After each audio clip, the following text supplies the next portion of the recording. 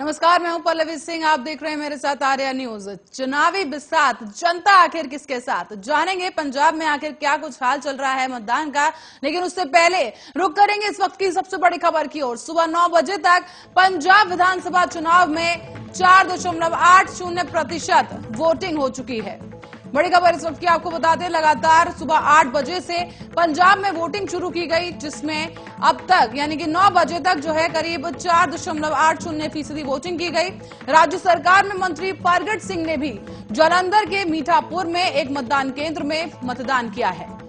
आपको बता दें, लगातार वोटिंग जारी है। इस बीच भगवंत मान आम आदमी पार्टी की तरफ़ से पंजाब मुख्यमंत्री का चेहरा जो कि बनाए गए हैं। उन्हें भी, उन्होंने भी वोटिंग की है और इसके साथ साथ पंजाब में अब तक 9 बजे तक की बात, बता रहे हैं आपको कि 9 बजे तक के जो आंकड़े सामने आए हैं, उसके अनुसार पंजाब में सुबह 9 बजे तक चार दशमलव आठ शून्य फ़ीसदी मतदान किया जा चुका है।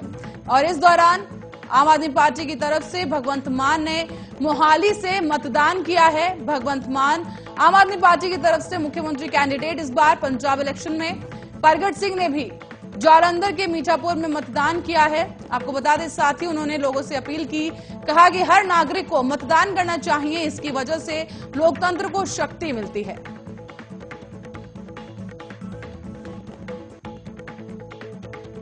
और इसी बीच एक और बड़ी खबर आ रही है सामने, आपको रूबरू करवाते चले कि आम आदमी पार्टी के नेता राघव चड्डा की तरफ़ से यहाँ पर एक बड़ा खुलासा किया गया है। बड़ी खबर इस वक्त की आपको बता दें, राघव चड्डा ने ईवीएम को लेकर यहाँ पर सवाल खड़े कर दिए हैं।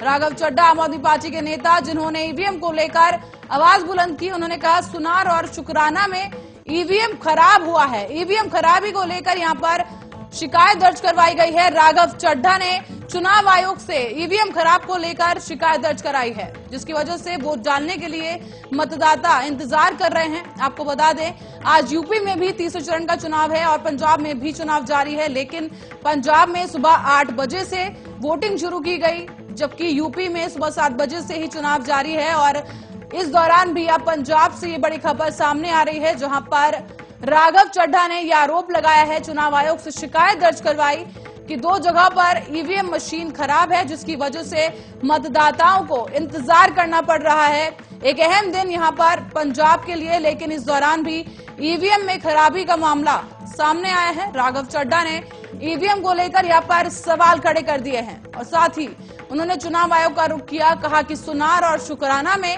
ईवीएम मशीन खराब हो गई है।